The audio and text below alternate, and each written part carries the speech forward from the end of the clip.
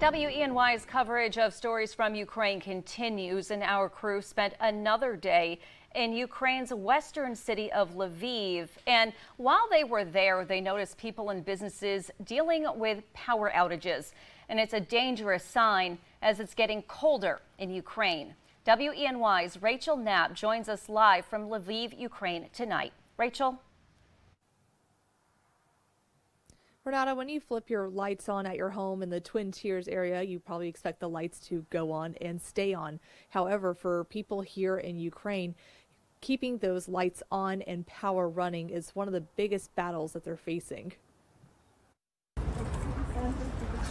As we made our way through Lviv city center, we noticed many businesses were closed, but the handful that were open, like this cat cafe, diners had to deal with the darkness.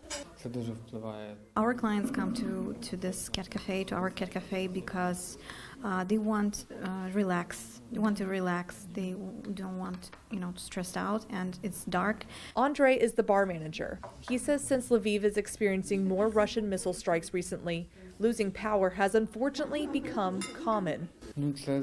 Now it's like usually eight hours per day.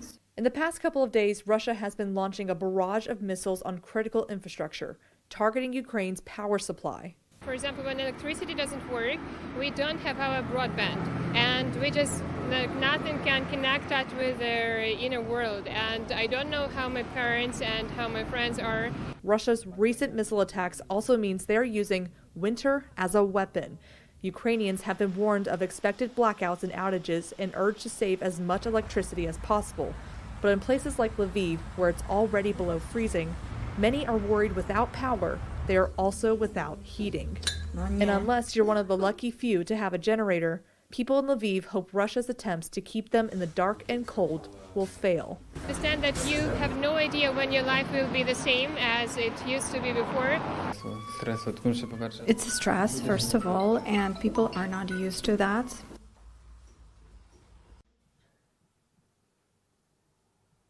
Renata, when we've been in shops or even in our own hotels, sometimes the power uh, will go out, but you know we've been really lucky because it's been able to quickly get back on. And you know there are just millions of other uh, Ukrainians here in the country who are still dealing with massive power outages following those Russian missile strikes. Reporting live in Lviv, Ukraine, Rachel Knapp for WENY News. Renata.